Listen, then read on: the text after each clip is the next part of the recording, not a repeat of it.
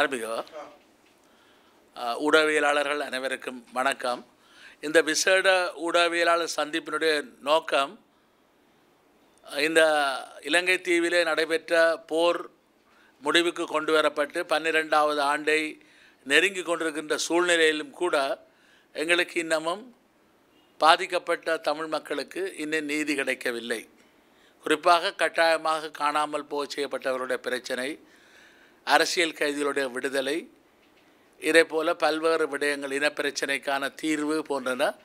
கிட்டாத சூழ்நிலையிலே தான் ஐக்கிய நாடுகள் மனித உரிமை பேரவையினுடைய நாற்பத்தாறாவது கூட்டத்தொடர் பிப்ரவரி மாதம் இருபத்தி ரெண்டாம் தேதியிலிருந்து மார்ச் மாதம் பத்தொன்பதாம் தேதி வரை நடைபெறவிருக்கின்ற சூழ்நிலையிலே பல தரப்புகளிலிருந்து தமிழ் மக்கள் தரப்பிலே ஒற்று ஒரு ஒன்று ஒற்றுமையான ஒரு கோரிக்கையாக வைக்க முடியுமா என்ற கேள்வி எழுப்பப்பட்டதனுடைய விளைவாகத்தான் தமிழ் தேசிய வாழ்வுரிமை இயக்கத்தினுடைய தலைவர் திரு சிவகரன் தலைமையில் அவருடைய ஏற்பாட்டிலே அவர் அழைப்பாளராக கன்வீனராக கடமையாற்றி பலரையும் அழைத்து மூன்று பிரதான அணிகளையும் அழைத்திருந்தார். இருபத்தொன்பதாம் தேதி கடந்த மாதம் இருபத்தொன்பதாம் தேதி கிளிநொச்சியிலே ஒரு கூட்டம் நடைபெற்றது. அதிலே தமிழ் தேசிய மக்கள் முன்னணி கலந்து கொள்ளவில்லை. தமிழ் தேசிய கூட்டமைப்பும் தமிழ் மக்கள் தேசிய கூட்டணியும் கலந்து கொண்டிருந்தது. அதிலே திருவண்ணாமலை மாவட்டத்தினுடைய ஆயரவர்களும் பல பங்கு தந்தைமாரும் அதே போல் பாதிக்கப்பட்ட கட்டாயமாக காணாமல் போக செய்யப்பட்ட சங்கத்தினுடைய பிரதிகள் பிரதிநிதிகள் சில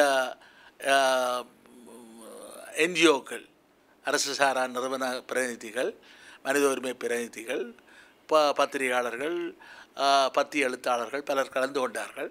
சுமார் முப்பத்தஞ்சு பேர் அந்த கூட்டத்திலே கொரோனா காரணமாக மட்டுப்படுத்தப்பட்ட இதில் நடைபெற்றது.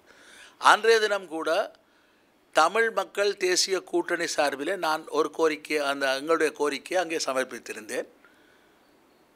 முதலாவது ஐக்கிய அந்த ஐக்கிய நாடுகள் மனித உரிமை பேரவைக்கு ஆணையாளருக்கு சமர்ப்பிப்பதற்காக மூன்று கோரிக்கைகளை நாங்கள் வ- எங்களுடைய தீர்மானமாக எடுத்திருக்கின்றோம். ஒன்று சர்வதேச குற்றவியல் நீதிமன்றம் இன்டர்நேஷனல் கிரிமினல் கோர்ட் ஐசிசிக்கு கொண்டு செல்லப்பட வேண்டும். இல்லை என்றால் அல்லது சர்வதேச குற்றவியல் தீர்ப்பாயம் இன்டர்நேஷனல் கிரிமினல் ட்ரிபியூனல் ஒன்றுக்கு கொண்டு செல்லப்பட வேண்டும் முதலாவது கோரிக்கை. ரெண்டாவது கோரிக்கை triple I M international independent investigative mechanism சர்வதேச சுயாதீன விசாரணை பொறிமுறை. இது வந்து உதாரணமாக சொல்லப்போனால் சிரியாவிலும் மியான்மியார் பழைய மர்மா நாட்டிலும் இது நடைபெற்று இந்த விடயம் செய்- செய்யப்பட்டிருக்கு. அதுபோல செய்யப்பட வேண்டும். மக்கள் நினைக்கலாம் என்ன ஓஐஸ் ஓஐ ஓஐஎஸ்எல் என்ற ஒரு விசாரணை நடைபெற்றதே குழு அறிக்கை வந்ததே மீண்டும் ஏன் விசாரணை என்றால் அதொரு குழுவிலே இவ்வளவு போர்க்குற்றங்கள் நடைபெற்றிருக்கிறது பாரிய மனித உரிமை மீறல்கள் நடைபெற்றிருக்கு என்று அறிக்கையிடப்பட்டிருக்கு ஆயிரத்துக்கு மேற்பட்ட அறிக்கை அப்பக்கங்களில் இதற்கு மேலதிகமாக ஐக்கிய நாடுகள் சபையினுடைய செயலாளர் நாயகத்தால் நியமிக்கப்பட்ட ஒரு குழு ரெண்டாயிரத்தி பதினொன்றிலே நிறுவப்பட்ட ஒரு குழு நாற்பதினாயிரம் தமிழ் மக்கள் கொல்லப்பட்டிருக்கிறார்கள் என்று அந்த அறிக்கையிலே குறிப்பிட்டிருந்தது. இன்னொரு குழு அந்த அறிக்கையிலே ரெண்டாயிரத்தி பன்னெண்டில் நியமிக்கப்பட்டதிலே எழுபதினாயிரம் பேர் கொல்லப்பட்டும் கணக்கில் வராமலும் போயிருக்கிறார்கள். அன்அக்கவுண்டபிள் என்று சொல்வார்கள். எழுபதனாயிரம் பேர் என்று சொல்லப்பட்ட சூழ்நிலையின் பின்னணியிலே தான் இதை ஒரு குற்றப்பத்திரிகையாக தயாரிப்பதற்கான வேலையை சட்டமாதிபர் திணைக்களமோ அல்லது வழக்கு தொடர் ப்ரொசிக்யூட்டர் என்று சொல்வார்கள். அதுபோன்ற ஒரு வேலையை செய்வது தான் அது ரெண்டாயிரத்தி பதினெட்டாம் ஆண்டு செப்டம்பர் மாதம் ஐநா மனித உரிமை பேரவையிலே முப்பத்தொன்பதின் கீழ் ரெண்டு என்ற ஒரு தீர்மானம் நிறைவேற்றப்பட்டு தான் அவ்வாறான ஒரு விடயம் மியான்மாருக்கு double I double I M என்று செய்யப்பட்டு இன்றைக்கு சர்வதேச நீதிமன்றம் வரை சென்றிருக்கிறது. அதற்கு அவர்களுக்கு ICJ international court of justice என்ற ஒரு நாடு வழக்கு போடுகின்ற வழக்கு விஷயத்திலும் அவர்கள் ஐம்பத்தி மூன்று முஸ்லீம் நாடுகள் சேர்ந்து ஆப்பிரிக்க நாடான கம்பியா என்ற நாட்டை வைத்து அங்கே போட்டிருக்கார்கள் அது ஒரு வேறு விடயம் அதாவது இந்த மூன்றுக்கு புறம்பாக ஐசிஜேயும் நாற்பத்தேழு நாடுகள் எங்களுக்கு உதவி செய்ய வேண்டும் என்ற கோரிக்கையை வைத்திருக்கிறோம். அதுவே மூன்றாவது வடக்கு கிழக்கு மாகாணங்களிலே ஒரு பொதுசன வாக்கெடுப்பு நடத்தப்பட வேண்டும் அரசியல் தீர்வு சம்பந்தமாக பொதுமக்களுடைய கருத்து கேட்கப்பட வேண்டும். அவை இந்த மூன்று விடயங்கள் ஆனால் அதை எங்கே சொன்ன பொழுது கொள்கை அளவிலே தான் ஐசிசி சர்வதேச குற்றவியல் நீதிமன்றத்தையும் ட்ரிபிள் ஐஎம்ஏயும் அதாவது இந்த சர்வதேச சுயாதீன விசாரணை பொறிமுறையை ஏற்றுக்கொள்கின்றேன் என்று திரு சுமந்திரன் தெரிவித்திருந்தார். ஆனால் அவர் சர்வஜன வாக்கெடுப்பை கருத்து சொல்லவில்லை. ஆனால் அதன் பின்னர் தான் மூன்றாம் தேதி வவுனியாவிலே ஒரு கூட்டம் நடைபெற்றது. அதிலே திரு கஜேந்திரகுமார் பொன்னம்பலம் அவர்களுடைய கட்சி தமிழ் தேசிய மக்கள் முன்னணியும் கலந்து கொண்டிருந்தது. திரு சுமந்திரன் தமிழ் தேசிய கூட்டமைப்பு சார்பிலே கலந்து கொண்டிருந்தார். இதே போல் தமிழ் மக்கள் தேசிய கூட்டணி சார்பிலே நானும் திருமதி அனந்த சசரனும் கலந்து கொண்டிருந்தோம்.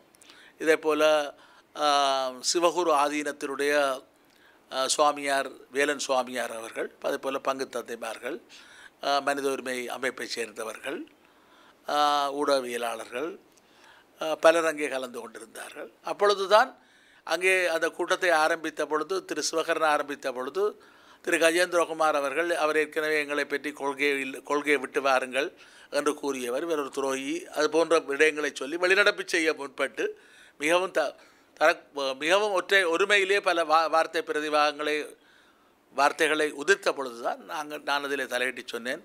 எங்களிலே பலருக்கு பலருக்கான சம்பந்தமான கருத்துக்கள் இருக்கின்றன. இதிலே நாங்கள் வந்திருக்கின்றோம் என்றால் எல்லாத்தையும் ஒதுக்கி வைத்துவிட்டு மக்களுக்காக இந்த விஷயங்களில் நாங்கள் ஒன்றுபட முடியும் என்று திருமண்ட வணக்கு வானபிதாஸ் ரவிச்சந்திரன் அடிகளார்களை நீங்கள் கொழுத்து கூட்டத்தை தொடர்ந்து நடத்துங்கள் என்று நடத்தப்பட்டது. ஆகவே அதிலே ப- குறிப்பாக சொல்வதாக இருந்தால் திரு கஜேந்திரகுமார் பொன்னம்பலம் அவர்களுடைய அந்த தமிழ் தேசிய மக்களுடைய ஒரே கோரிக்கை சர்வதேச குற்றவியல் நீதிமன்றத்துக்கு கொண்டு செல்லப்படும் ஐசிசி. இல்லாவிட்டால் வேண்டாம். இருக்கட்டும். ஒன்றும் இல்லாமல் போகட்டும் என்ற ஒரு நிலைப்பாட்டிலே அவர்கள் நின்றார்கள். நான் அதுக்கு மாறாக இல்லை. இது தொடர்ந்து நாங்கள் இவ்வாறு முன்னெடுக்கப்பட்டது? ரெண்டாயிரத்தி பதினோராம் ஆண்டு தமிழ் தேசிய கூட்டமைப்பு அமெரிக்காவுக்கு சென்று பேசியதை தொடர்ந்து தான் ரெண்டாயிரத்தி பன்னெண்டு அமெரிக்கா ஆரம்பித்தது. பதிமூன்று பதினாலிலே ஒரு தீர்மானம் நிறைவேற்றப்பட்டதை தொடர்ந்து தான் ஓஐஎஸ்எல் விசாரணை குழு வைக்கின்றது. ஆயிரத்துக்கும் மேற்பட்ட பக்க அறிக்கை வந்திருக்கிறது. ரெண்டாயிரத்தி பதினைஞ்சாம் ஆண்டு அக்டோபர் ஒன்றிலே தான் ஒரு இணைய அனுசரணையுடன் ஒரு ஒரு ஹைப்ரைட் மு- முறை என்று சொல்லப்படுகின்ற உள்ளூர் முறையும் வெளிநாட்டு முறையும் கலந்த முறை. வெளிநாட்டு நீதிபதிகள் அதாவது காமன்வெல்த் நாடுகளுடைய பொதுநலவாய நாடுகளுடைய நீதிபதிகள் வழக்கு தொடர்நர்களை வைத்துக்கொண்டு இலங்கைக்குள்ளே விசாரணை நடத்த அது நாலரை ஆண்டு கடந்தும் செய்யப்படவில்லை. இந்த பின்னணியிலே தான் இதை விட்டுத்து அடுத்த கட்டத்துக்கு செல்ல வேண்டும் என்பதை நாங்கள் உறுதியாக இருக்கிறோம். ஆனால் இப்பொழுது தமிழ் தேசிய கூட்டமைப்பு ஆறாந்திய கொழும்பிலே கூடி முடிவு செய்யும் என்று சொன்னப்பட்ட நேரத்திலே இப்பொழுது அது ஒரு தமிழ் தென்னிலங்கையில் இருக்கக்கூடிய சில மனித உரிமை செயற்பாட்டாளர்களுடைய முழும் கட்டுப்பாட்டுகள் சென்று விட்டதாக எங்களுக்கு தெரிய வருகிறது. நாங்கள் நினைத்தது பாராளுமன்றத்திலே கட்டிட தொகுதியிலே அது நடத்தப்படும் என்று. பார்த்தால் இப்பொழுது கொள்ளுப்பட்டியிலே ஒரு தனியார் விடுதியிலே நடத்தப்பட இருக்கின்ற நாளை மாலை நடத்தப்பட இருக்கின்ற சூழ்நிலையிலே தென்னிலங்கையிலே இருக்கக்கூடியவர்கள் உதவி வேண்டாம் என்று சொல்வது அல்ல நிலைமை. ஆனால் ஒன்றை சொல்ல விரும்புகின்றோம். அவர்களுடைய நிகழ்ச்சி நிரல் பொழுது நாங்கள் செ- அடிப்படையில் நாங்கள் செல்ல முடியாது.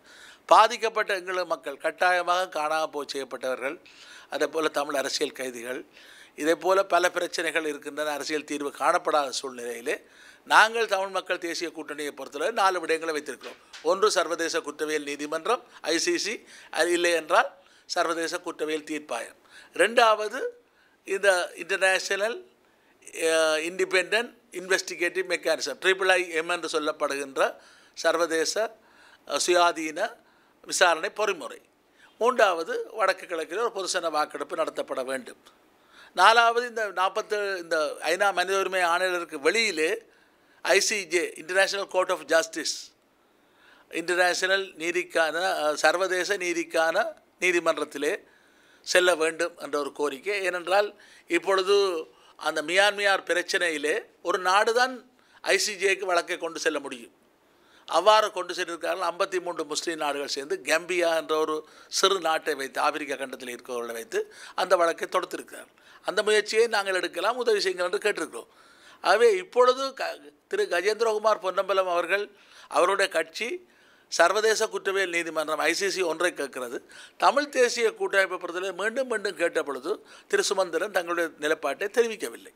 ஆனால் இதே நேரத்தில் திரு மாவசேநாதராஜா அவர்களை தமிழ் இலங்கை தமிழரசு கட்சியுடைய தலைவரை நான் முப்பதாம் தேதி மாலை யாழ்ப்பாண மாநகர சபை நல்லூர் பிரதேச சபை தோற்கடிக்கப்பட்ட அன்று மாலை கூட கட்சி தலைமையிலத்திலே சந்தித்து பேசிய பொழுது ஒரு வெளிநாட்டு அமைப்போடு நாங்கள் இணைந்து சில கோரிக்கைகளை முன்வைத்திருக்கோம் என்று பிரேரணை பிரதியை தந்தார். அந்த பிரதியை கூட அந்த கூட்டத்திலே திரு சுமந்தரனிடம் நான் கையளித்தேன். அதிலே ஒன்று ஐசிசிக்கு செல்ல வேண்டும் சர்வதேச குற்றவியல் நீதிமன்றத்துக்கு செல்ல வேண்டும். ரெண்டாவது ட்ரிபிள் ஐஎம் அதாவது சர்வதேச சுயாதீன விசாரணை பொறிமுறை. மற்றது இன்னொன்று அரசியல் தீர்வு காணப்பட வேண்டும் என்றும் இன்னொன்று ஐசிஜேக்கு செல்ல வேண்டுவதற்கான சில வழிமுறைகளும் சொல்லப்பட்டிருக்கு. ஆகவே அதிலே இருக்கக்கூடிய குறைபாடு என்றால் அது ஒரு க என்ன ரெஃபரண்டம் தான் அதிலே பொதுசன வாக்கெடுப்பு தான் சொல்லப்படவில்லை. ஆனால் அதில் இன்னொரு தகவலையும் திரு சுமந்திரன் அவர்கள் சொன்னார் ஏழு பாராளுமன்ற உறுப்பினர்கள் தமிழ் தேசிய கூட்டமைப்பு அதிலே கையெழுத்திட்டிருப்பதாக தனக்கு ஒரு வெளிநாட்டு ஒரு எங்களுடைய புலம்பெயர் அமைப்பு ஒன்று அறிவித்திருக்கிறது. அதிலே திரு சம்பந்தன் ஐயா அவர்கள் தான் சாணக்கியன் கையெழுச்சாத்திடவில்லை அதே போல் விக்னேஸ்வரன் ஐயாவும் அது அந்த வரவேற்றதாக அங்கே செய்தி அனுப்பியிருக்கின்றான் என்று சொன்ன பொழுது தான் நான் சொன்னேன். இப்பொழுது மூன்றாம் தேதி இடப்பட்ட கடிதம் என்னிடம் இருக்கிறது. ஐயா என்று அதிகாலையிலே மூன்று மணி ரெண்டு மூன்று மணி அளவில் வெளிக்கிட்டு போனார். கொழும்புக்கு அங்கே கையெழுத்துடன் இருக்கிறது. எங்களுடைய கட்சிகளுடைய தலைமைகள் இருப்பவர்கள் கையெழுத்திட்டிருக்கிறோம். தமிழ் தேசிய கட்சியின் சார்பில் நான் கையெழுத்திட்டிருக்கிறேன். அதே போல் தமிழ் ஈழத்தமிழர் சுயாட்சி கழகம் சார்பில் திருமதி அனந்தசேகரன் ச- கையெழுத்திட்டிருக்கார். ஈழ மக்கள் புரட்சியர விடுதலை முன்னணி இபிஆர் சார்பில் திரு சுரேஷ் பிரபுத்திரன் கையெழுத்திட்டிருக்கார். அதே போல் தமிழ் மக்கள் கூட்டணி சார்பிலே பாராளுமன்ற உறுப்பினர் கௌரவ நீதியரசர் விக்னேஸ்வரன் கையெழுத்திட்டிருக்கார். அப்போ எங்களை பொறுத்தளவு நாங்கள் சொல்லிவிட்டோம். கயந்திரகுமார் சொல்கிறார் என்றால் தமிழ் தேசிய கூட்டமைப்பு நிலைப்பாடு என்ன? அப்பொழுதுதான் ஆறாம் தேதி கொழும்பிலே ஒரு கூட்டம் நடைபெறுவதாக சொல்லப்பட்டது. இப்பொழுது அது முழுக்க முழுக்க தென்னிலங்கை தென்னிலங்கை என்று நாங்கள் பிழை நினைக்கவில்லை. முற்போக்குவாதிகளில் நல்லவர்கள் இருக்கார்கள். ஆனால் இந்த நல்லாட்சி அரசாங்கம் வந்த பொழுது அடங்கினவர்களும் இப்பொழுது மேலே தலையை நீக்குவர்களுக்கு மத்தியிலே இந்த பேச்சுவார்த்தை நடைபெறுவதை எங்களை பொறுத்தளவில் நல்ல பெறுபேறு வரும் என்று நாங்கள் நினைக்கவில்லை. ஆகவே ஏற்படுத்தப்பட்ட கூட்டம் நடக்கட்டும். ஆனால் அதிலே குழப்பங்கள் அறகுறை விடயங்களிலே எங்களுடைய எந்த அந்த மூன்று அணிகளில் யாரும் இதுக்கு இணங்க இணங்குவார்கள் என்று நான் நம்பவில்லை. ஆனால் திரு சுமந்திரன் அவர்களை பார்த்து அல்ல தமிழ் தேசிய கூட்டமைப்பை பார்த்து நாங்கள் கேட்க விரும்புவதெல்லாம் இந்த கிளிநொச்சியிலே நடைபெற்ற கூட்டத்துக்கு திருவண்ணாமலை மறை மாவட்ட கத்தோலிக்க ஆயர் வந்திருந்தார். அவருடைய தலைமையிலே